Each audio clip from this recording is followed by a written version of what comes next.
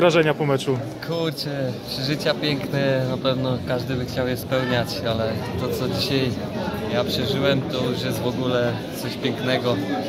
Jako 36-latek na pewno nie było mi tu dane zagrać, no ale czekałem do ostatniej chwili, ale skrócili, skrócili to. Mieliśmy grać 90 minut, ale niestety wyszło tak teraz. Jak wyszło, no najważniejsze jest pożegnanie Poldiego i bardzo pięknie, naprawdę. Aż łezka się e, pokręciła. Ty jesteś zawodnikiem, który pamięta jeszcze ten mecz w Budapeszcie.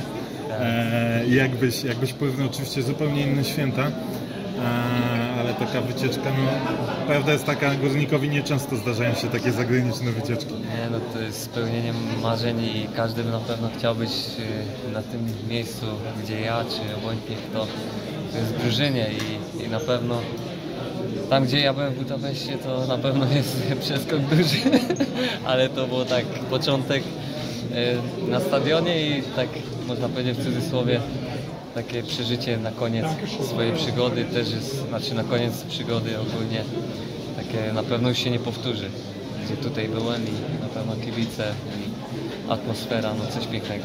A powiedz, jak w ogóle z e, tymi gwiazdami w szatni, tak? Manuel No jest, jak cały czas nie umiem uwierzyć, cały czas sobie rozmawiamy, tak kurde, no, kogo, kogo ja tu mam?